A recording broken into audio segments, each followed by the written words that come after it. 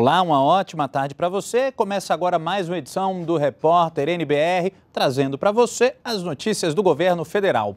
O novo presidente do Banco Central, Ilan Goldfein, assume hoje o cargo na instituição. A cerimônia será daqui a pouco aqui em Brasília. Nós temos imagens do auditório onde será realizada essa solenidade. A NBR transmite ao vivo a cerimônia a qualquer momento. Está marcado para agora, para as três horas. Então, a qualquer momento a gente pode voltar com essa cerimônia.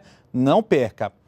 E hoje o presidente da Caixa Econômica Federal, Gilberto Ock, disse que pretende retomar cerca de 15 mil unidades habitacionais do programa Minha Casa Minha Vida, que estavam paralisadas.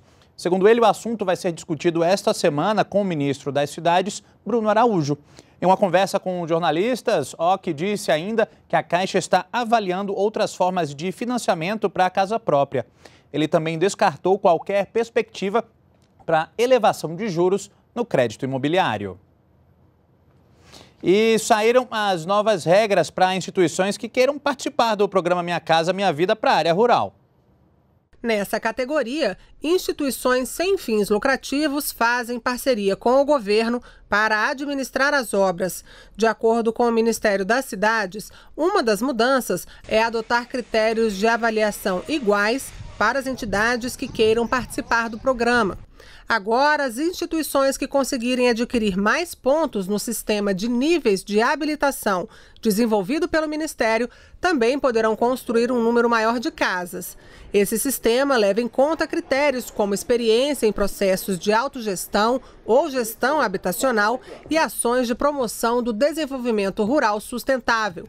Outra mudança é o fim do sistema de pontuação. Antes, entidades que fossem filiadas a determinadas confederações, por exemplo, recebiam pontos extras.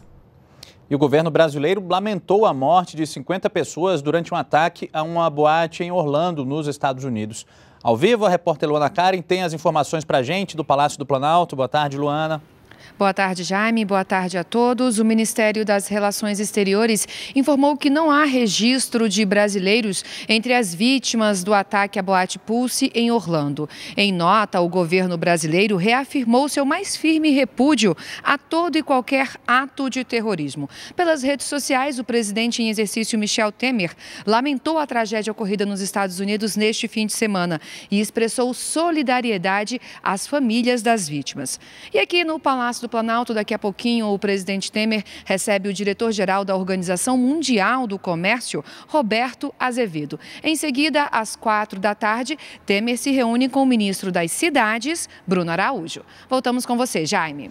Luana, obrigado pelas informações ao vivo do Palácio do Planalto. Nós ficamos por aqui. Voltamos a qualquer momento com outras informações. Continue com a gente aqui na NBR, a TV do Governo Federal.